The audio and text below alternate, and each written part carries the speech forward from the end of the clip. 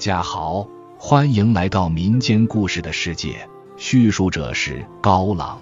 我们来到今天的故事，民间故事：樵夫起床，半夜听到老鼠的对话。老鼠说：“它只能是我妻。”雨，暴雨。明朝晋南，樵夫陆思卓正在山里砍柴，却突逢暴雨，眼见着雨越下越大。雨水顺着山向下流去，一些落脚的地方变得十分光滑，一些地方变得十分泥泞。大雨甚至浇得眼睛都无法好好看路。陆思卓只得前去山坡旁边的小石屋里避雨。小石屋是圆的，面积不大，就地取材所建，都是以前的一些樵夫、放牧之人、猎人和采药人所建。为的就是躲避暴雨或者其他天气，甚至是躲避野兽，亦或者可以晚上在这里将就。在太行山里，像这样的小石屋有很多，只是如果附近没有村子，人越来越少的话，以往的石屋便会渐渐废弃，直到坍塌。紧赶慢赶，走到了石屋之中，将绳子和扁担放在一边。自己则是坐在一些干草上休息，旁边还有被子和褥子，以及一个包袱，里面是他事先留在这里的一些衣物。陆思卓换上一身前衣服，这才发现自己别在腰间的斧头不见了，便想着等雨是减小了，自己去外面寻找一番。忽然间，在石屋门口出现了一位老者，探进来一个头。头发乱糟糟的，被雨水打湿了，这将陆思卓吓了一跳。不过陆思卓还是很快招呼那老者道：“老伯，这雨一时半刻估计很难停下了，你赶紧进来躲一下雨。”老者走了进来，忽然间拿出一个斧头，笑道：“这是你的斧头吗？”陆思卓点了点头，惊喜道：“多谢老伯。”我本来还想着等雨停了再去寻找一番呢，不曾想竟然被您捡到了。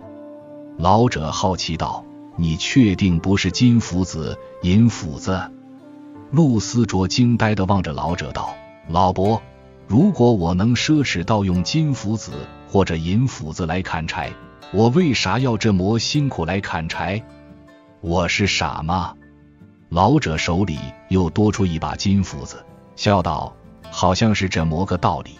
行吧，这斧子还你，你这斧子真是一把好斧子啊！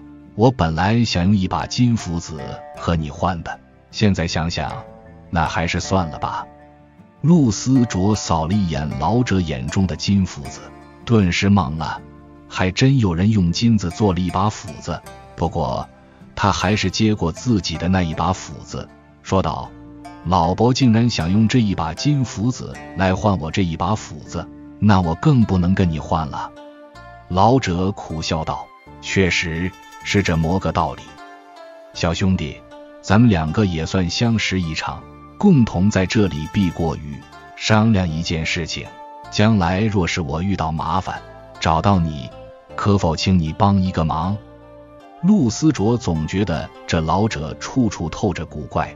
没有直接拒绝，而是说道：“若是老伯将来能找到我，又在我的能力范围之内，又不违背道义，帮您一两个小忙，自然是没有问题的。”老者拍了拍陆思卓的肩膀，笑嘻嘻地道：“你这小子有点意思，将来肯定是有福之人。这一切都是自己逐渐改变的。等下雨停了，记住。”不要按照原路返回，你要从西沟回去。陆思卓刚要问一句为何，却发现眼前的老者却已经消失不见了，不知所踪，直接将陆思卓吓呆了。他立刻握紧了斧头，不知道为何握着那一把斧头，笼罩在心头的恐惧竟然消失不见了。回想刚才那一幕。那老者出现的就十分突兀，身上虽然有雨，可也仅限于头发之上。仔细想来，陆思卓终于发现了那老者的不同寻常。瓢泼大雨，头发都湿了，身上的衣服竟然没有一丝水渍，只是他刚才完全没有注意到罢了。这一下，陆思卓不由得想起了村里老人们所说的雨天的野外容易撞见的一些事情。过了一会儿，雨停了，陆思卓拿着绳子、扁担和斧子走出了小石屋，准备回家。他想起那老者让他从西沟下山，他想了想那老者，便故意向东沟走去。毕竟东沟距离他们村子较近。可是走到东沟的上方时，他犹豫了。他停留了片刻，刚要举步，便看见一块巨大的石头，忽然间便从山上滚落了下来。看见这一幕，陆思卓不再多想，转身就走。要多快就有多快，向着西沟而去。鉴于在东沟发生的事情，到了西沟上方时，陆思卓还是停留了片刻，没有发生什么事情，他才迅速下山，一直走到山脚，出了大山，也没有见发生任何事情，心才落在了地上。西沟前面是一条河，由于山上流下的水全部都汇聚在这条河中。往日清澈的河水已经变得十分浑浊，而且河水暴涨，直到过了桥，陆思卓才放缓脚步，缓缓回头看着这一座山，心中是五味杂陈。短短时间内经历的事情，他真不想再经历一次。他看了看天空中的乌云，叹息了一声，便收回了目光，准备回家。就在此时，他的目光微凝，河流的上游不远处，似乎有一个人正漂浮在水里，跟着河水浮浮沉沉。那似乎是一个人正在拼命挣扎。陆思卓没有多想，连忙将绳子的一端系在身上，另外一段系在河边的树上，静静地站在河边，死死地盯着那个在河水中沉浮的人。等那人顺着河流来到近前时，他纵身一跃，扑了出去，一下子将那人拦住了，如八爪鱼一般将那人死死地抱住，拉着绳子回到了岸上。短短的片刻时间，陆思卓都感觉自己快要窒息了，躺在河边湿漉漉的草地上，大口大口呼吸着，慢慢恢复着自己的体力。过了好一会儿，他才坐了起来，去看旁边的人。旁边的人竟然是一个女人。这女人看上去比陆思卓要小上几岁。陆思卓将她扛在肩上，头朝下，反正他也不知道如何救，只是依稀见过有老人如此救过别人，便尝试一下。也不知道是陆思卓施救的方法对了。还是那女子根本漠视。反正过了一会儿，那女人缓缓转醒了。陆思卓将那女人放回草地上，苦笑道：“还好，活过来了。”女人躺在草地上，怔怔地看着陆思卓，轻声问道：“是您救了我？”陆思卓环顾四周，点头道：“这里没有别人，好像是我救了你。”女人闻言，一下子就笑得咳嗽起来，说道：“还有好像这个说法吗？”陆思卓尴尬地道：“我我……他向来是不擅长言谈的，特别是和自己年纪差不多大小的女人，他更是很少说话。一时间被这女人打趣，他竟然不知道该如何说话了。”女人叹息道：“你不该救我的，毕竟……”我不是被这河水冲走的，而是自己投河的。这河水如此湍急，又如此浑浊，若是为了救我，再连累到你，那就不划算了。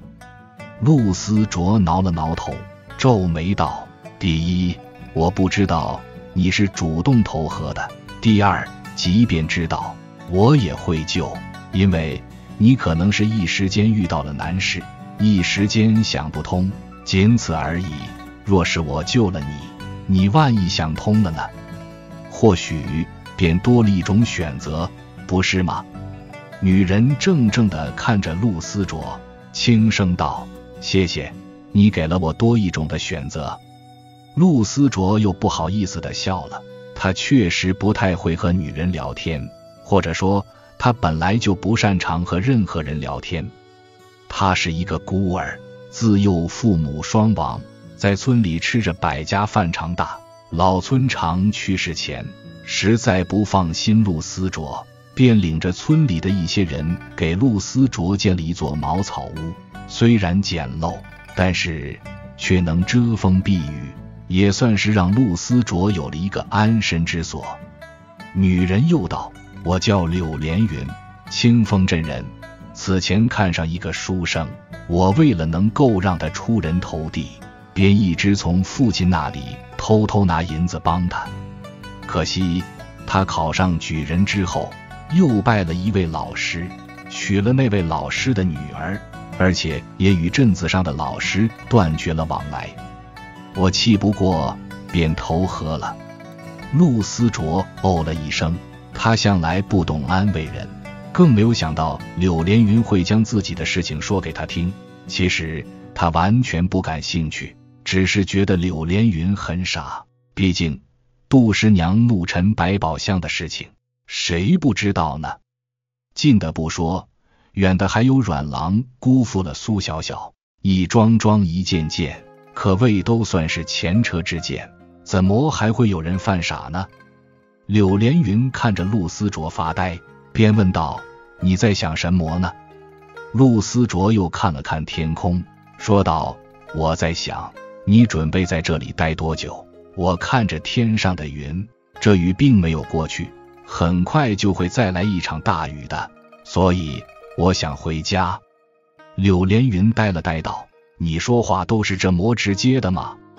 陆思卓好奇道：“我如果说话拐弯抹角，这雨就不会下了吗？”柳连云一下子被呛住了，从地上爬了起来，提了提自己的裙子，全都是河水和污泥，说道：“走吧，前面带路。”陆思卓瞪大了眼睛，问道：“什么意思？你要跟我回家？”你不回自己家的吗？柳连云揉了揉自己的额头，道：“我家在清风镇啊，从这里到那里，至少也得半天时间吧。我怎么回去？”陆思卓一拍自己的脑袋，恍然大悟，便不再说话，当先走着，示意柳连云在后面跟着。可是走了一段路之后，陆思卓忽然间想起了一件事情。便问道：“从清风镇到这里，距离很远。你在清风镇投河，倒被我救起来，应该漂了很长一段时间。我怎么感觉你像是末世人一样？”柳连云说道：“哦，投河之后，我就后悔了。刚好有一段枯木飘过，我便爬了上去。谁曾想，河流越来越湍急，到了后面。”我实在坚持不住，才掉到了河里，顺水而走。没过多久，就被你救了。陆思卓默默点了点头，没有再说话，领着柳连云回到了家中。到家之后，陆思卓去隔壁找了沈大嫂，借了浴桶和一套衣服，然后烧了开水，让柳连云泡了一个澡，暖暖身子，顺便喝了一碗姜汤。柳连云换上了沈大嫂的衣服，才暖和起来。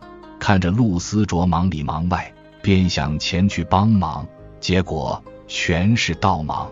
柳连云甚至连生火都不会，被陆思卓撵出了厨房。当天晚上，陆思卓家里的人忽然见多了起来。一会儿，沈大嫂送来了羊肉；一会儿，李叔送来了一坛酒；一会儿，王伯送来了鸡肉。一会儿，陈奶奶又送来了鸡蛋等等，反正不停的有人来往。陆思卓都懵了，不知道何意。程爷爷走的时候还来了一句：“好小子，好好把握住机会。”反而是柳连云红透了脸，他知道那些人是误会了他和陆思卓的关系。不过，柳连云觉得陆思卓和村里人相处的关系很奇妙。陆思卓并不擅长言谈，就算村里人送了东西过来，陆思卓也不知道如何表达感谢。可是村里人却也并不介意，反而都是乐呵呵的。后来柳连云才知道是为何。陆思卓虽然不擅长言谈，但是陆思卓擅长用行动去表达。谁家缺柴了，他会送过去。哪个老人需要照顾，他会主动帮忙；谁家来不及收庄稼了，他也舍得卖力气。正是这样的原因，他在村里积攒了很好的口碑。或许这就是交心吧。第二天，陆思卓送柳连云回清风镇。到了清风镇，陆思卓才知道，柳连云竟然是清风镇柳财主的掌上明珠。也是柳财主唯一的女儿，陆思卓算是柳连云的救命恩人。柳财主对陆思卓自然是千恩万谢，可是也仅仅只是千恩万谢罢了，甚至都没有留陆思卓吃一顿饭。对此，陆思卓也没有任何介意。他救人不过是他自己的事情，至于别人是否感激他，他还真的就不太在乎这个事情。他只相信但行好事，莫问前程。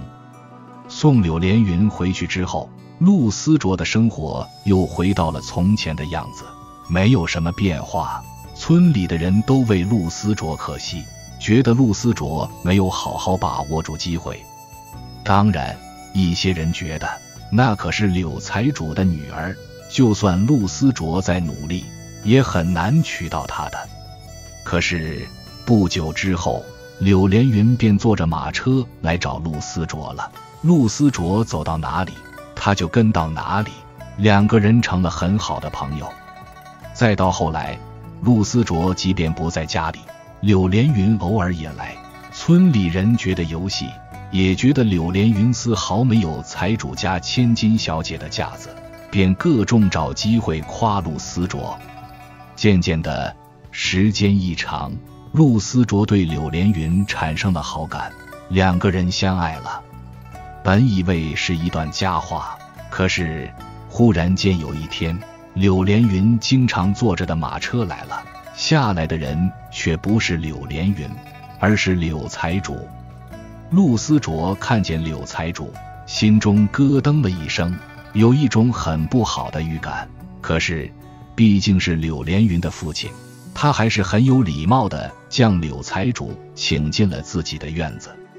柳财主没有进屋，就站在院子中间，四下打量了一番，这才说道：“你救了云儿，我很感激你。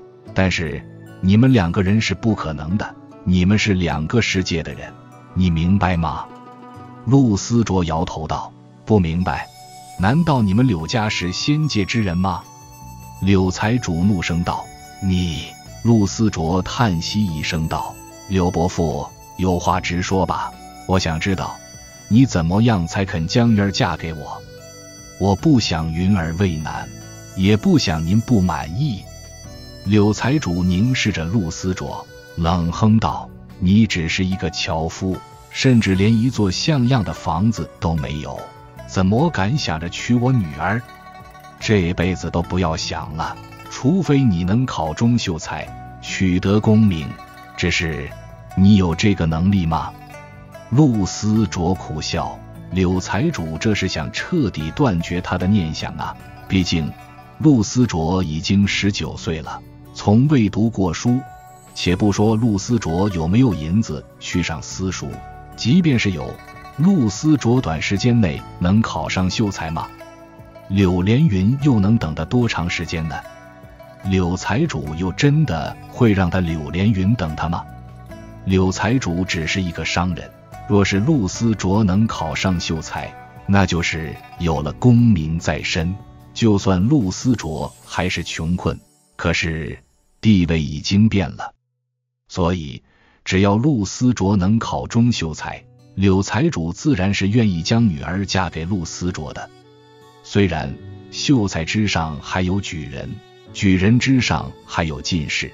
但是，就算如此，秀才也不是能够轻易而举考上的。清风镇上一个考上秀才的人，已经是数十年前的事情了。至于柳连云此前一直帮的那个书生，只是路过清风镇时生病了，住了一段时间而已。柳财主分明是想要彻底断了陆思卓的想法，陆思卓却点了点头道：“希望柳伯父能够言而有信，否则万一我将来考中了举人。”甚至更上一层，今日之事，我算是记下了。柳财主眯了眯眼睛，冷哼了一声，转身就走。柳财主来找陆思卓的事情，很快整个村子都知道了，大家都很气愤，却也很无奈。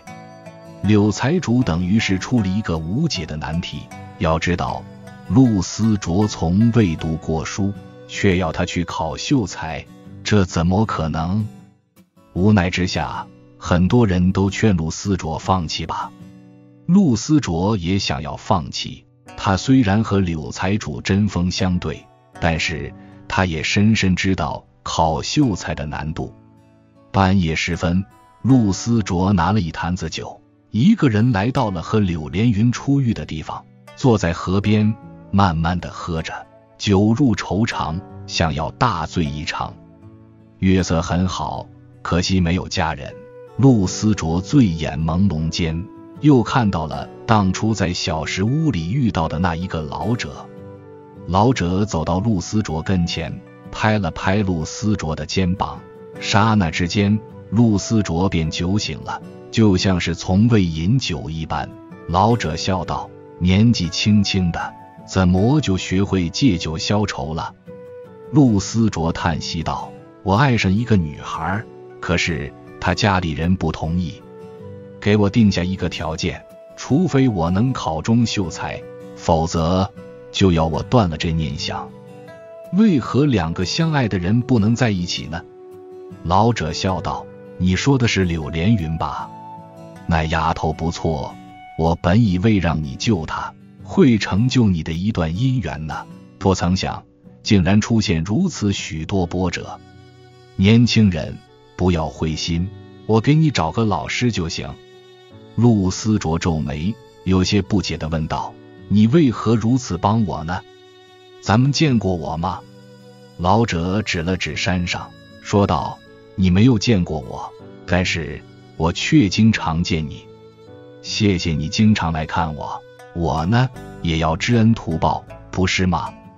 说完，老者又消失了。陆思卓吓了一跳，站起身来，环顾四周，不见人影。他看向他经常砍柴的那一座山，突然间想到一件事情：那一座山里有一座孤坟，乱石堆就，没有墓碑。陆思卓由于经常来这一带砍柴，逢年过节时便带上一些东西，算是扫墓吧。想到此处。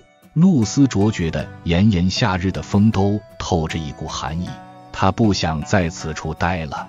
回到家里时，他只要一闭上眼睛，便会有那老者的影子，彻夜难眠。到了早上，才缓缓睡去。第二天，陆思卓罕见地没有去砍柴，心中有太多事情了。一直到第四天的中午，陆思卓正在做饭。一个中年文士却走到了院子里，一直到了厨房，问道：“陆思卓是住在这里吧？”陆思卓下意识的看向地面，见到中年文士地上的影子，不由得的松了一口气，缓缓起身道：“我就是陆思卓，不知道你找我什么事情？”中年文士打量了一下陆思卓，说道：“我听说你想要考秀才。”我是来收你为徒的。陆思卓心中一惊，想到了昨晚那老者的话，便好奇道：“是那位老伯让您来的？”中年文士叹息道：“你口中的那位老伯，其实是我的父亲。当年父亲出门游历，再后来便音讯全无，直到昨晚，他才给我托梦，告诉我一个大致的方向，让我来找一个叫陆思卓的年轻人。陆思卓苦笑道：“这这样的事情，确实已经超出了他的理解范畴。”中年文士拍了拍陆思卓的肩膀，笑道：“不必多想，世界很大，天地很广，发生一些光怪陆离的事情，其实正常。将来有一天，你自会明白的。我问你，你可愿意拜我为师？”陆思卓立刻拜师，根本没有犹豫。有这样的好事，他为何要犹豫呢？中年文士点了点头，道。你带我前去父亲的坟墓，我要守孝三年。这三年里，你就跟我一起住在山里。我教你三年，三年之后，我会让你考中秀才的。陆思卓暗暗想着，希望柳连云能够等自己三年吧。随后，陆思卓便跟随中年文士进了山。在陆思卓眼里，这个文士打扮的中年。根本不像是一个文士，力气大的惊人，凭藉一己之力，竟然在那一处孤坟的旁边盖了两座石屋。从此以后，陆思卓便消失在众人的视线中。偶尔有人来山里放牧、采药、打猎或者砍柴，才能见到陆思卓。陆思卓没有读过书，一切都是从头出发，而且。中年文士不仅仅教陆思卓读书，还教陆思卓练武。一天的时间，陆思卓只能睡两个时辰，被安排的满满当当。时间一晃，便是三年，距离陆思卓考秀才，便只剩下最后一步了。这三年来，柳财主确实想要让柳连云嫁人，但是柳连云却用各种办法给抵挡了下来。只为等陆思卓考中秀才，就连陆思卓的师傅那个中年文士也是颇为佩服柳连云，认为将来陆思卓若是能娶了柳连云这样的女子，那一定是陆思卓的福气。三年时间到了，中年文士辞别了陆思卓，消失在人海，再也寻不见了。陆思卓有些惆怅，可是。他来不及伤感，便去考秀才了。正如中年文士当年所说：“给他三年时间，一定会帮陆思卓考上秀才。”确实，陆思卓考上了秀才。考上秀才之后的陆思卓十分兴奋，急切地跑到了清风镇，想要将这个喜讯告诉柳连云。但是，到了清风镇之后，陆思卓却听到一个消息，犹如五雷轰顶：柳连云要嫁人了，而且是心甘情愿。柳财主对这门亲事也十分满意，因为对方是一个举人。秀才虽然也有功名，可是和举人相比，那真是天壤之别。从秀才到举人，从举人到进士，可谓是一步一登天啊！陆思卓绝望了，有这样的对手出现，他已经不再有丝毫的希望了。那天，陆思卓满怀各种希望，终究化为酒入愁肠。到了晚上时，陆思卓甚至没有勇气去见柳连云，或者说，他已经对柳连云失去了希望。不过，他并不怪柳连云，在柳财主的压力之下。柳连云还能挺三年，这已经是很不容易的一件事情了。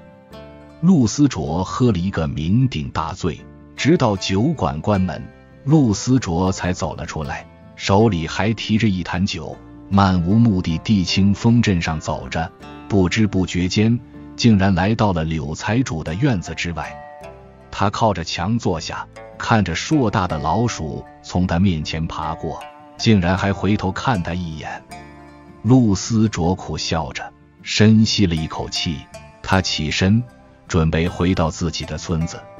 忽然间，陆思卓听到一些对话。这陆思卓还真是可怜啊！努力了几年，到头是一场空啊！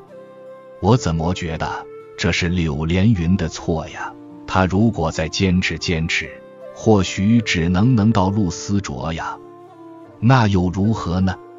那可是一个举人啊，举人，你明白吗？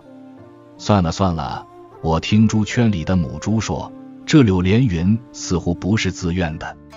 陆思卓将酒坛子摔碎了，揉了揉眼睛，他确信自己没有听错，就是两只老鼠在对话。想起老鼠的对话，陆思卓运转功力，散去一身酒气，直接身影飘动，到了柳财主家里的猪窝所在，竟然真的听见一群猪在争吵。大致意思是，柳连云并非愿意嫁给那个举人，只是那个举人是一只狐妖，利用术法迷惑了柳连云，所以柳连云才愿意嫁给那个举人。这并非是柳连云真心想嫁。听完这个消息，陆思卓并没有冲动，反而直接遁走了。他回了村子里，找到那一座古桥，从桥下取走一柄古剑。虽然并非是针对狐妖的，但是毕竟是古剑，煞气很重，能够增添自己的实力。然后他回到了清风镇。直到柳连云成亲那天，那个举人出现，陆思卓持剑而立，在柳财主的家门口挡住了那个举人的去路，一剑击出，两个人便站在了一起。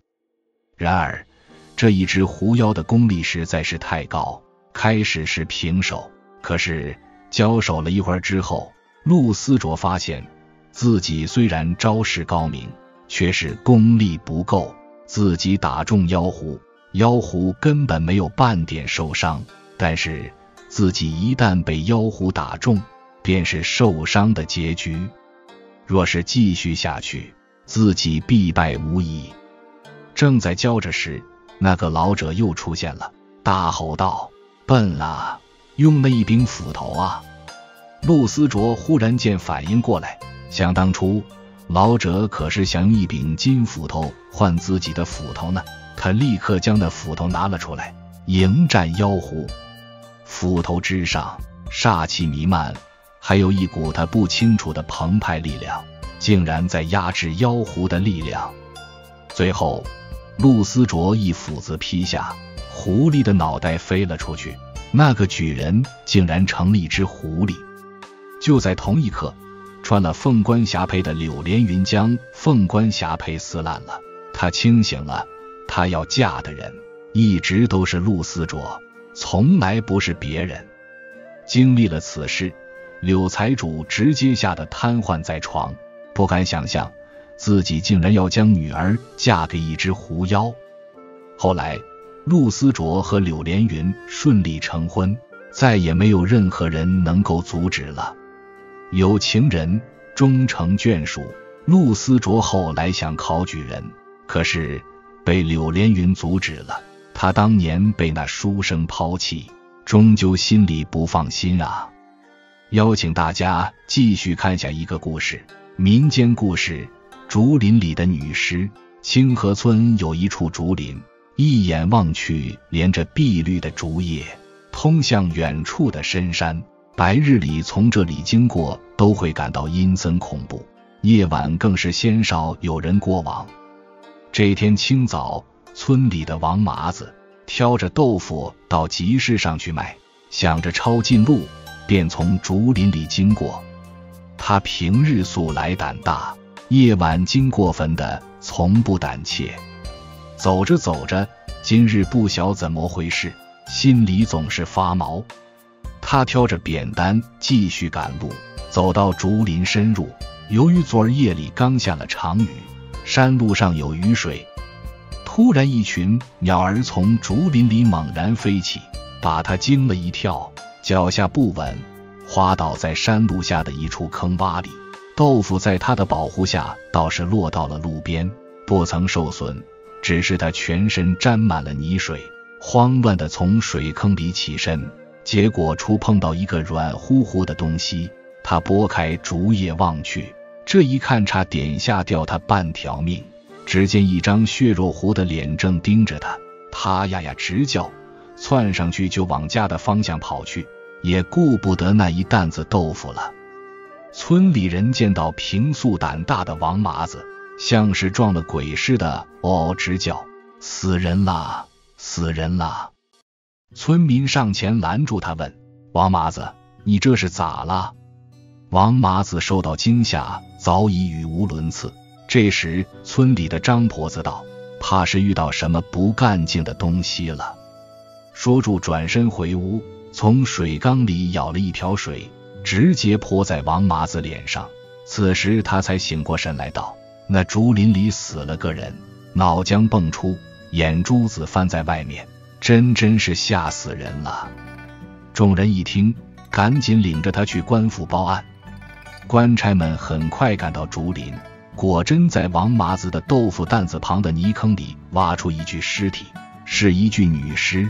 从伤口看出是被利刃砍在脑袋上，看样子像是活活劈死的。五官扭曲，面部皆毁，已看不出样貌了。正在官差们询问有谁认识这名女子时，张婆子道：“官爷，这像是村里李木匠家的媳妇。”他身上这衣料我见过，还有些余料，他用来给孩子做衣服了，可找来核对一下。官差听罢，立即派人到李木匠家去传话，让他来认领尸体。此时李木匠并不在家，听邻里说他经常外出去给城里人做工，有时候一走便是几个月。他的媳妇张娘子也是经常带着孩子回娘家。故此，石棺差跑了一个空，尸体被抬到了县衙的停尸房里。过了几日，那李木匠接到通报，便赶了回来。他一眼看出尸体正是他的媳妇张氏，回了知县大人。可是从他的脸上看不出一丝难过之色。知县问李木匠：“你这几日在哪里？”李木匠道：“回大人。”我这几日一直在城中孙员外家做工，他母亲要过八十大寿，家里需要新搭建一处戏台。这期间你一直在孙员外家，是否有在中途返回家中？不曾回家。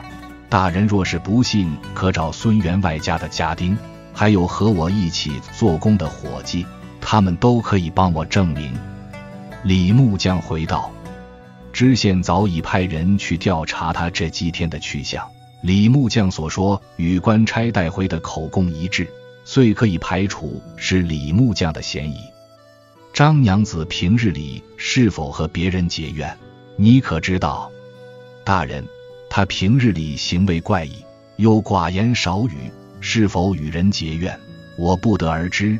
只是岳母经常找我，让我别只顾着赚钱。当时常在家里陪陪他。我家也不是富贵人家，若不外出赚钱，哪有余粮养家糊口？知县又招来其他人一一盘问，皆没有问出有力的线索。这时有官差回报，在一处枯井中发现了一把带有血渍的刀。经查看，这刀正是砍死张娘子的凶器。这刀应该是砍柴用的。只要在村中找人一一查问，应该能查出此刀的主人。又经过一番巡查，果然有村民举报这把刀是本村段海的刀。以前看他经常用这把刀上山砍柴。知县马上命人将段海带到了公堂，道：“大胆段海，你持刀杀死张娘子，又将尸体埋藏在竹林里，你可知罪？”段海跪在地上，瑟瑟发抖，回道：“大人啊，草民冤枉！我与那张娘子无冤无仇，何苦会要她的性命？你且看这把刀是不是你的？”段海一看那刀，吓了一跳，连忙回道：“大人，这把刀的却是小人的，但是怎么会在这里呢？此刀为你所有，又是砍死张娘子的凶器。”你作何解释？大人，大人，我这刀有一段时间不现了，我也不知啊。段海急得哭了起来。这时，他的娘子杨氏在门外大喊着：“老爷，我知道谁是凶手。”知县听他在门外这么一说，便让人放他进来。杨氏道：“老爷，你们冤枉我家相公了。他平日里胆小如鼠，怎么有胆量持刀杀人？前段时间我看见小叔段江鬼鬼祟祟来到家中，在墙角处拿了这把刀。我那小叔子平日里最喜欢偷摸别人的东西，以前也没少来拿。我每每和段海说，让他管管段江。”可我那相公是个软性子，任由他兄弟来拿。没曾想段江竟做出此等事来，还望老爷明察。这事真得和我相公没有关系。官差到了段江家里，却发现他早就收拾包袱逃命了，遂派人张贴通告，追捕杀人犯段江。二年后，张娘子案的凶犯段江依然在逃。李木匠却早已娶了同村的王寡妇。这王雪温柔可人，经常跟着李木匠走南闯北。此时，李木匠木工活的生意越来越好，收了徒弟，开了木工商铺。直到有一日，王雪接到一封信，便匆匆忙忙地赶到一处偏僻的废宅中。一进门，他就慌里慌张的道：“你这今年去了哪里？”如今官府的人还在追捕，你怎么还敢回来？来人正是段江。段江冷笑了一声道：“王雪，怕是你不想我回来吧？”段郎，你这说的是什么话？你看我知道你回来了，特地带来好酒好菜，你好生在这休养。有什么需要，尽管和我说。王雪赶紧把饭菜放在桌子上，又忙着倒酒。段江眼睛直勾勾的盯着他，然后一句话也不说，就将他扛起来往里屋进。王雪急忙喊道：“你快将我放下！这青天白日的，你要做什么？”段江一把将他丢在床上，道：“怎么以前做的，现在就做不得了？你可别忘了张娘子的事。”他此话一出，王雪顿时吓白了脸，结结巴巴道。他的事和我，我有什么有关系？当年是谁让我杀了他？你可是贵人多忘事。王雪此时一改往日的娇弱状，道：“段江，你不要在这里胡说。当年那张娘子明明有相公，还和你在外面做些苟且之事，谁知道你因何杀他？哦，那又是谁在外面一边勾引李木匠？”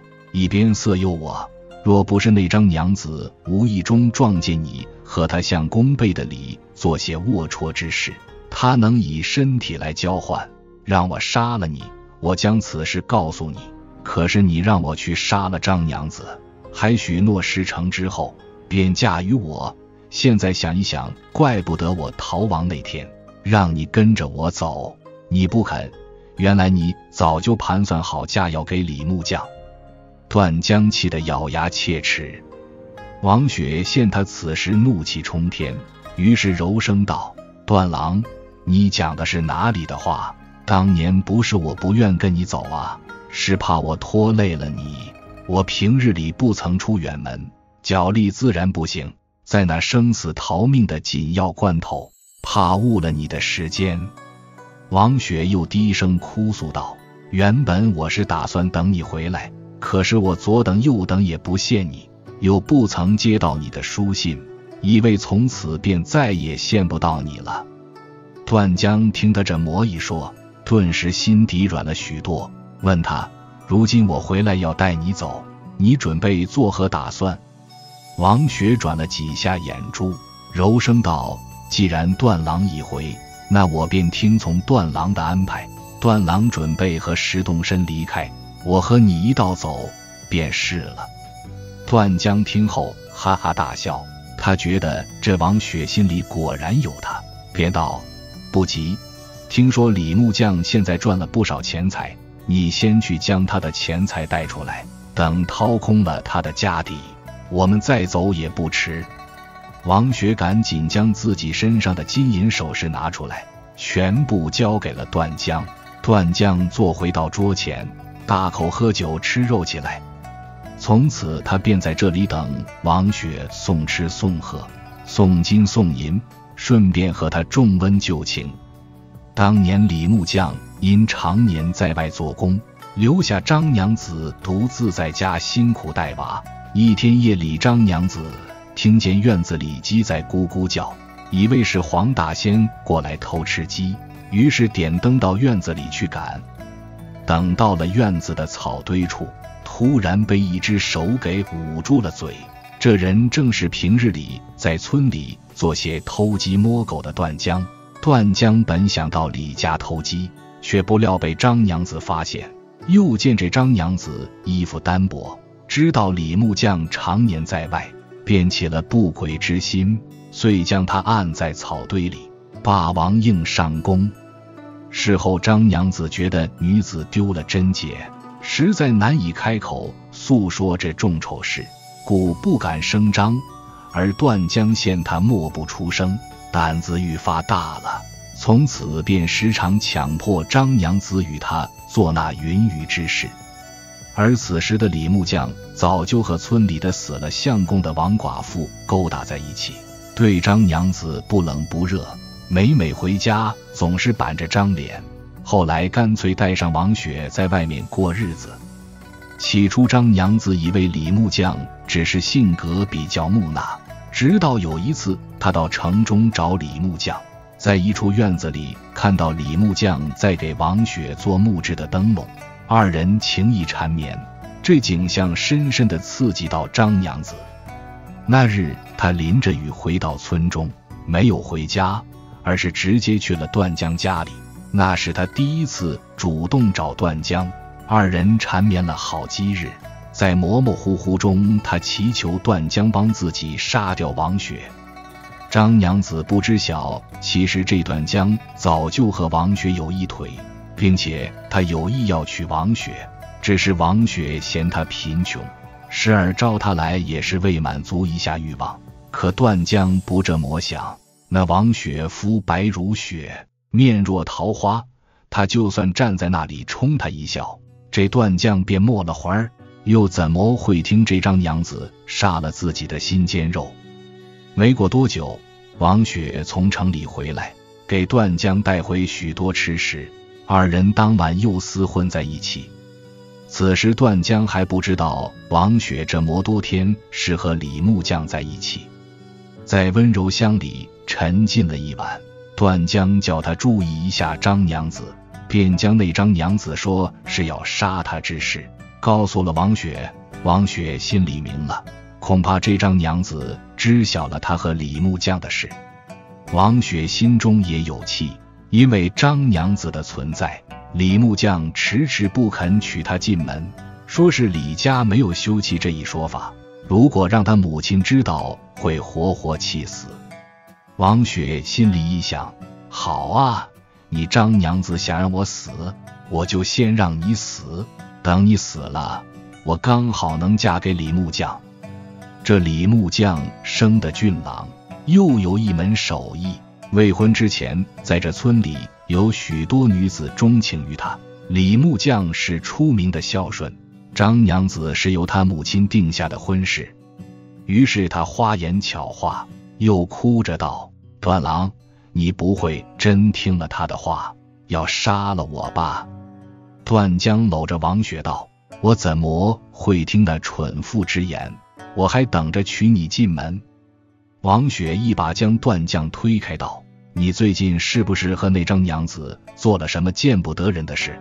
不然他为何要跟你说这些话？”王雪知道段江为人，手段下作。像张娘子那种以家为重的女人，若不是被他胁迫了，断然不会跟他说这些事。此时的王雪心里是暗暗叫喜，心中生了一计。段江一脸陪笑道：“哪有的事，我的心里只有你呀。”说着又要上前去亲王雪。王雪捂住他的嘴道：“我才不信，那蠢妇让你杀了我，你不肯。”倘若我让你杀了他，你可愿意？段将正在兴头上，当即答：愿意。事后他便将此事忘得一干二净。隔了几日，他又去找王雪，王雪便将他挡在门面，说是他允诺的事未兑现，以后便和他一刀二断。段江原本以为王雪是和他闹着玩笑，却真得从此不让他进门了。方才知晓王雪这次是动真格了。可是杀人啊！段江还在犹豫之中，王雪又给他下了猛料：如果张娘子死了，她就嫁给段江。于是段江约上张娘子在小竹林里见面，趁他不注意时，用砍刀活活砍死了张娘子。在路上又将那把刀扔进井里。只是他没想到，官府很快便查到那把行凶的刀是他大哥段海家的。知道这事肯定包不住了，便逃命去了。张娘子一死，王雪见自己的机会来了，又怎么会跟着段江去亡命天涯？他故意在李木匠身边为张娘子哭泣，他们二人在张娘子生前就已苟合在一起，线下寻着合适的机会，顺理成章的成了亲。再说王雪从段江那里回来后。整日心神不宁，他看着眼前偌大的宅院，又有李木匠之冷之暖相伴，绝对不能将好不容易到手的幸福生活给毁掉。可是这次段江归来，明显是想要赖上自己，想要与他划清关系，恐怕不是易事。于是又一恶毒的想法油生，他要杀了段江。就在这时，发生了一件大事。让王雪又重新改变了想法。孙员外要在乡下修一处宅院，用来供奉祖先。这建宅之事交由李木匠负责。在挖地基时，挖出二条白色的蛇。只见这二条白蛇首尾交缠在一起。本来他们只要放生便是，但是跟着李木匠一起做工的王麻子胆量素来很大，他因满脸麻子。又矮又驼，至今未娶妻，当然见不得那二条恩爱有加的蛇。用木棍将那两条蛇给用力分开，又使劲的拍打。其中一条白蛇受了重伤之后跑了，另一条蛇被他们活活打死。李木匠在做木工时，就听老一辈人讲过：见宅遇蛇，必先敬奉；若是蛇不离巢。当劝主家移地而建，可是李木匠见此情景也不阻拦，还纵容他们打死了白蛇。当天做工回来，李木匠就感到一阵头晕恶心，想住是夜里受了风寒，便莫在意。可是从这天起，李木匠就时常头晕，找了大夫也查不出所以然来。这天，孙员外家的宅院到了最关键的一步上梁，那条中梁不管怎么上都落上不去。好不容易架上之后，李木匠却突然发现这中梁上面有一个洞，便上去查看。此时有一个小木匠跑进来，朝着他道：“师傅，不好了，王麻子被蛇咬死了。”李木匠心头一惊。忽然感到一阵头晕眼花，一个不稳，便从房梁上栽到地上。那地上有一尖桩，就是把木头另一端削得很尖，用来钉缝细用的。只见那尖木桩直直地插进了他的命根处，他整个人昏死过去。待他醒来时，已经过去了数月。此时他已中风，讲话不利索，手脚抖个不停。原本英俊的李木匠，现下变成一个只会嗯嗯啊呀的废物，嘴里连一句完整的话也说不出来。这事发生的实在是让王雪始料未及。他每日给李木匠端水清洗，望住日渐消瘦不能自理的李木匠，从一开始盼望他早日康复，到后来的心灰意冷，想着从此。他再也指望不上李木匠，反而要照顾他，心中就生了怨言。日子久了，他不再给李木匠翻身清洗了，还天天骂李木匠是个废人，想要把他一辈子给拖回掉。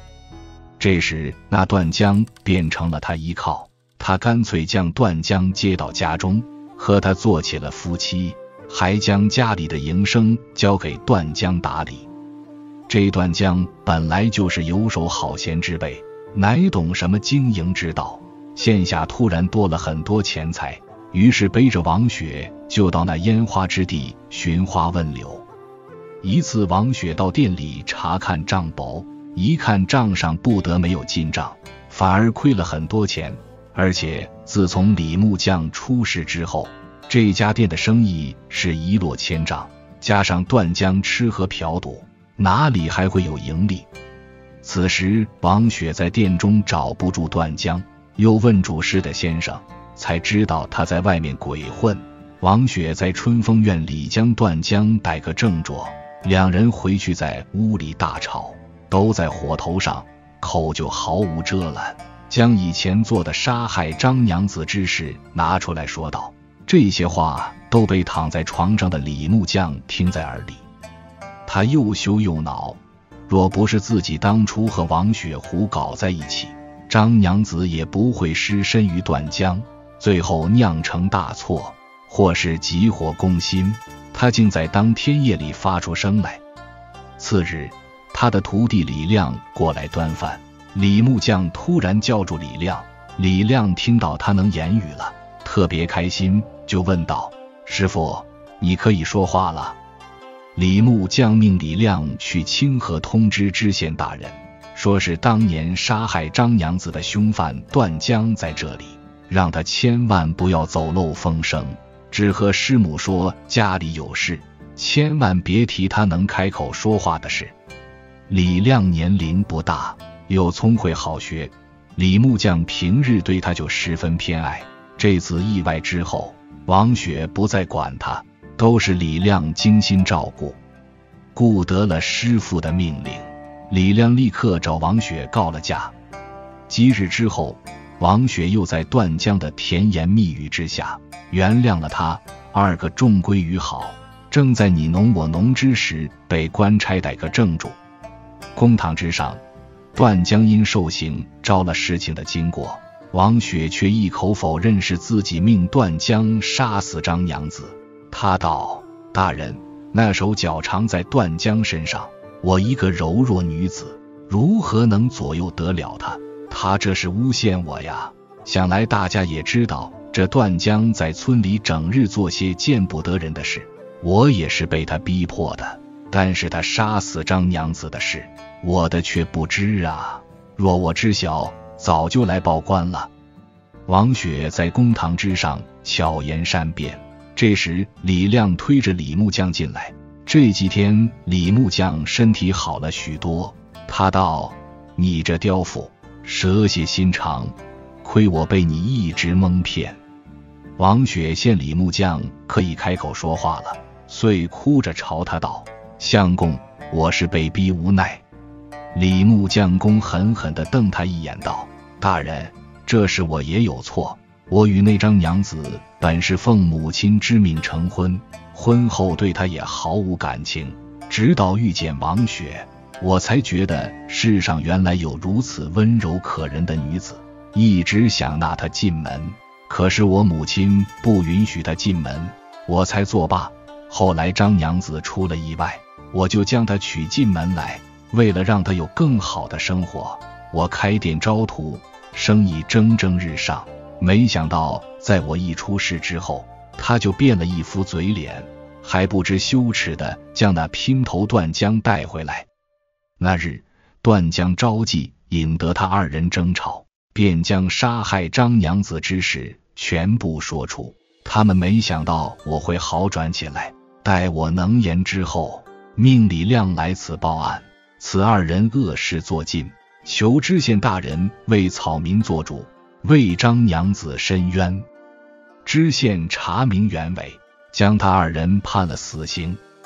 李木匠因自己当年做的糊涂事感到羞愧，他命人把孩子接到身边，找了私塾供其读书，又将店铺交给李亮打理。过了几年，孩子们皆学有所成。而李木匠在悔恨中死去。故事到此结束，谢谢您看我的故事。您在下方留言，记得要订阅加分享。谢谢你已经看，下期您视频见，再见。